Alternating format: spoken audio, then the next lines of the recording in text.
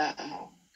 uh, skeptical a couple of weeks ago when I saw our numbers decrease under that 100 mark because we had been hanging around 100 for quite some time and even got up to 110 or more. And now we're back down into the the 80s so and yesterday i think i reported 79 so that's that's definitely a decrease. But you have to remember that hospitalizations and deaths lag behind the number of new cases by a couple weeks. So so we'll